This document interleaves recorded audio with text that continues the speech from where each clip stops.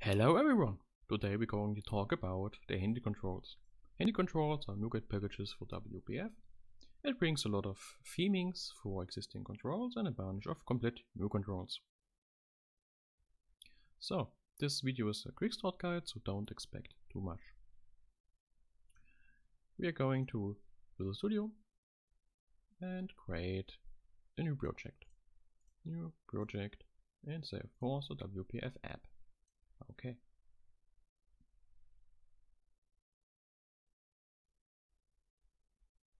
So, we are going to the main window. It's a bit empty, it's okay.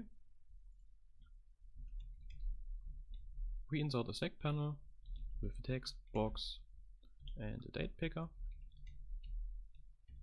and start a project. So, that's er a normal text box er and that's normal date picker.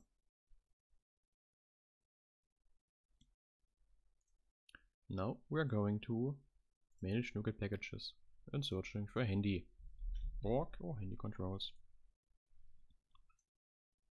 and installing NuGet package and accept the license.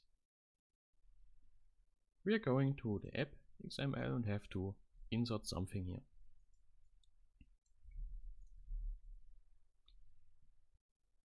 The links is in description down below. So, this thing says that we are using a specific theme. A theme for the controls, so they will change the appearance. If we execute the project again, now we see text box got a bit bigger, the date picker changed also.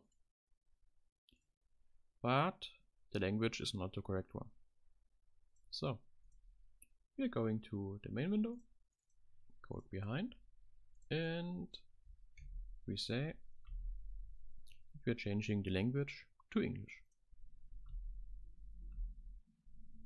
So we're going to execute the project again and now the language is in English. Alright, that's all.